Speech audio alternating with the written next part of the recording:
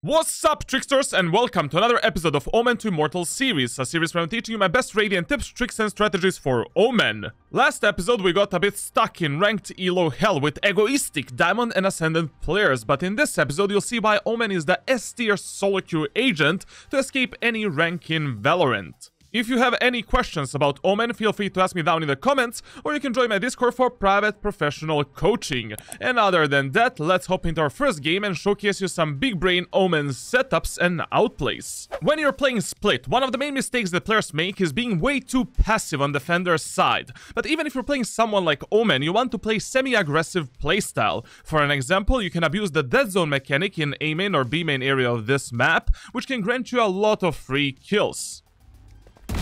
I'm so good at this. Down. After getting that kill and making numbers advantage, my brain-dead teammates decided that it was a good idea to fully aggress enemies on mid in an anti-eco round, when we could have just played passively together with the guns and numbers advantage that I just created. Sometimes it is okay to hunt the kills when you want to damage the enemy's economy, but if yours overall team economy is not good enough or stable, it's much better to play smart. Never go for some pointless solo kills, don't give free guns to enemies, focus on preserving your overall team economy, and close out easily these anti-eco rounds, baby. Once we were left in this 3v1 scenario, I instantly said to my teammates to play passive and together, but my Jett once again completely ignored my callout and gave enemy Sage a free kill and ultimate to revive the Killjoy. This is one of many reasons why I always teach my private students to value their own life over the life of their teammates. That doesn't mean that you should be baiting and selling your teammates 24-7, but you need to become a disciplined player that understands how to control the outcome of every round. Especially when you have a team that is filled with autopilot aggressive gorillas. Now, we still won this round, but we lost over 1100 credits that can hurt our economy a lot in the future, and it was not an easy round. Remember this pro tip for ranked solo queue, my friends. If you're not alive to control the outcome of your rounds, you're simply gambling and you can play smarter. Players always assume that these plays you can only perform with Jett or Chamber, but reality is that if you have an Operator or some one-tap weapon and your mechanical skill is good enough, this is an easy kill with any agent. No, no, no, no, no, you don't do that. For an example, with Vandal or Phantom, all you need to do is go for a fast jiggle peek, perform a burst fire at the moment of time when you release your D key, press your A key to go back, and make sure that both you and your crosshair placement are ready to engage enemies. This is why mastering movement and understanding some in-depth Valorant mechanics is extremely important for your improvement as a player. And all of these guides, routines, and trainings for these mechanics I'm sharing in my private coaching programs on my Discord server, but also on my Discord you can access the Omen Ranked Playbook with all of my strategies and tactics for every single map for Valorant solo queue, baby! Now, in this round, my teammates once again sold a numbers advantage by being undisciplined, and we were left in a 3v2 situation. RKO, which was the A player, got killed on mid by the remaining two enemies, and I knew that they are going to go A after that kill. So I used my ultimate towards the A site, but then I remember that I have only Operator with a shorty, and that my Cypher is not really the best player to ever touch this game, so I cancelled my ultimate in order to play a proper 2v2 retake. Was this a wasted ultimate, charlatan? Maybe, but in the same time, this ultimate will put enormous amount of mental pressure onto enemies, and they might not expect me and Cypher playing together. Now, this Cypher's ultimate also gave us some huge information. Based on this ultimate, I knew that enemy Killjoy is planting the spike for A tower, and based on Reyna's position, I had a feeling that she is gonna try to reposition on ramp. So I smoked for Cypher to cross safely, and I picked Reyna before she can even come into the smoke. One enemy remaining. And after that, it was just an easy 2v1 refrag game.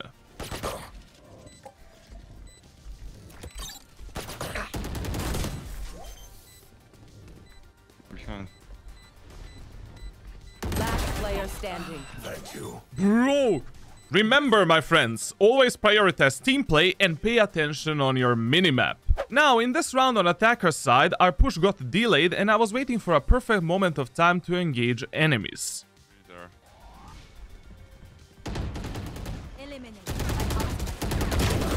My ultimate is ready. One uh, screen. Healing. Remember, my friends, that picking a proper timing for your Omen outplays is 90% of your success potential. Boss heaven. You should run. If you're stuck on the bomb site and you have ultimate, you can dodge Killjoy's ult if you teleport at around 2 seconds before the lockdown detonates, and then simply cancel your ult to surprise enemies that are pushing into the site. Off your feet!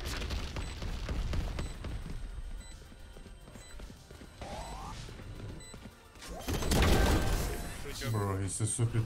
Now, this is one of my signature and the most favorite aggressive Omen executes on B side of Split. You place the first one-way smoke on top of this box to block the vision of enemies on rafters. Then you place the second default smoke for B tower. You flash the backside or the side for your teammates and then teleport inside of this one-way. From this position, you can perform around 6 different outplays and use your second teleport on all of these positions to surprise enemies.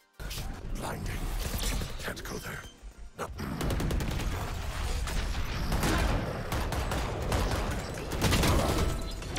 One city.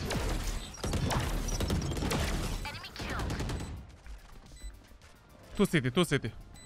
One tower ci and city. Tower. Here, I've used this smoke to isolate enemy Reyna into a 1 versus 1 gunfight and to take an easy surprise kill with Shorty. And then I went into CT, spamming my smoke to distract enemy Killjoy so that my Jett has easier time killing her. Remember my friends, if you can simplify your gunfights without relying on your raw mechanical skill, just do it! Now on Fracture, Brimstone is definitely a far better controller than Omen, but in lobbies below Immortal 1, you can still hard carry and perform some crazy outplays with this agent. In this specific retake, I've used my smoke in the choke point to isolate enemy Sage that is alone on the bomb site, but I misplaced my smoke that should have been much deeper towards A main. Shadows traveling.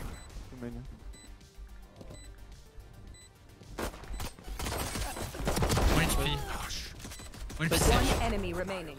Fortunately enough, I was able to refrag my Reyna and turn this round into a 2v1, which my Sage immediately overturned into 1v1, instead of waiting for me to tap the spike and distract enemy Brimstone. Now in this situation, this round should not be losable for the attacking team. It's a 1v1, enemy has the spike planted for him in A main, and I have only a classic pistol. He can just jump spot me, jiggle peek me, distract me, and win this round by wasting my time until the spike detonates. But instead of that, he went for a pointless wide peek, probably thinking that I don't have time to defuse the spike. Now, why did the Brimstone lose this round? Disregarding his undisciplined and brain-dead swing, you need to pay attention on the sound cues of Spike. First of all, Spike makes two absolutely different sounds when it's not defused at all.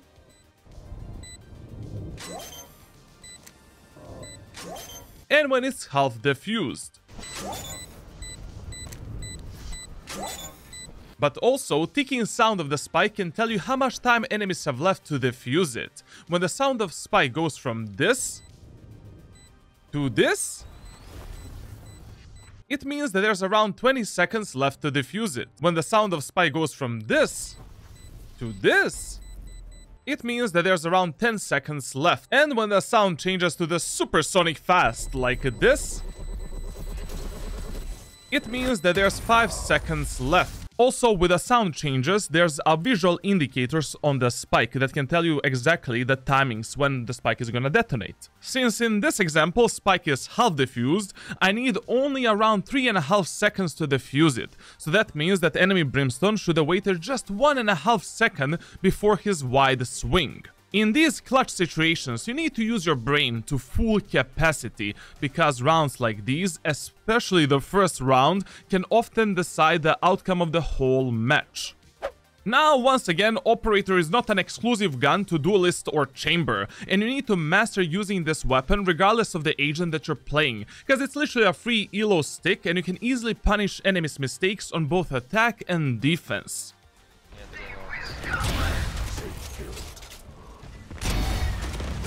Charges. Cover going out. Let's it. Spike planted.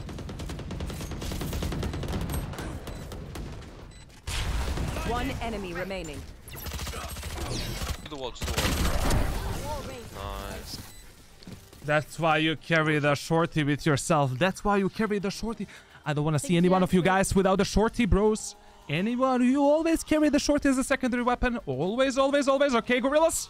In my future videos and guides, I'll be sharing with you some big brain tips and tricks to master Operator. So make sure to subscribe on my YouTube channel, leave a like, and follow me on Twitch for some daily live streams and solo queue shenanigans. Now, in this post plant on A set of Fracture, avoid overstacking the bomb site, because enemies can easily F you up with their utility. It's always better to spread a bit on the map, take the aim and control if Spike is already planted for it, but obviously you should play on refrag potential, which my teammates didn't really do well in this scenario. Notice how much I'm focused on minimap, waiting for my smoke to recharge and picking a right moment of time to peek on the contact of my breach.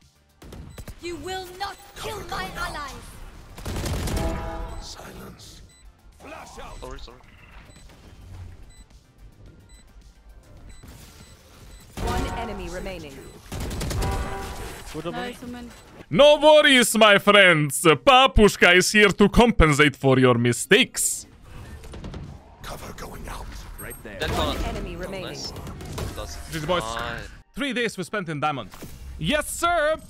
Now, in our next game, I didn't do anything special when it comes to my outplays. I've just repeated all of my strategies and tactics for Split that I've already covered in previous episodes of this series. So make sure to watch every video from beginning to the end if you don't want to miss some important information for your solo queue grind, my dear tricksters. This round is the prime example why you should never hunt the frags in Valorant and give an opportunity for enemies to come back. In this eco round, I'm left in a 2v5 scenario with Raze, Shorty and Light Shield. Enemies have full control of the spike, and our chances of winning this round are extremely low. But remember, my friends, every round is winnable and you should never give up.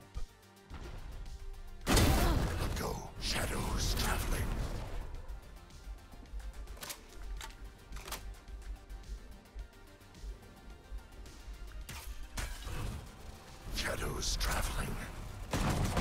Got him. Enemy spotted C. Last player standing. Stay inside. One enemy remaining. Three killed. I don't know. I He got a Becky. Was beaming. Large P, large P. 30 seconds left.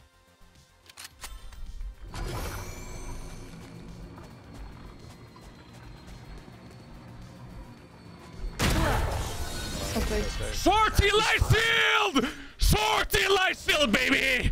I apologize, my friends, but I have the competitive spirit of a gorilla. Also, some of these enemies are literally immortals, and it feels like I'm playing in Iron. Now it is time for Papushka Babushka play on C side of Lotus, and I've already explained it in the previous episodes of this series. Last player standing. One enemy remaining.